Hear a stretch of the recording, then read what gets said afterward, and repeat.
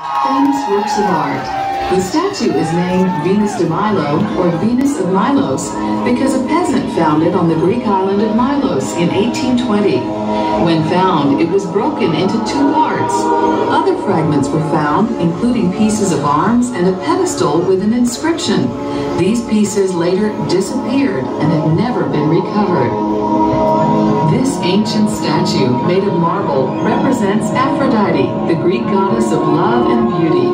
In Roman mythology, her name is Venus.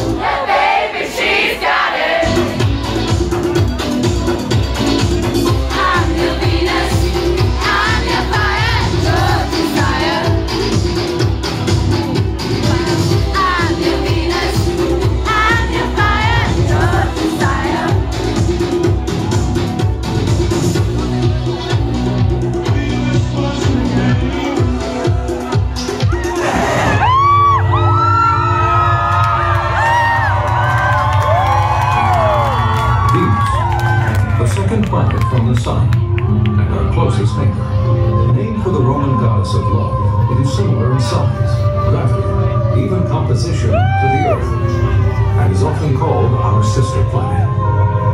Yet Venus, nicknamed Morning Star, may be the most inhospitable planet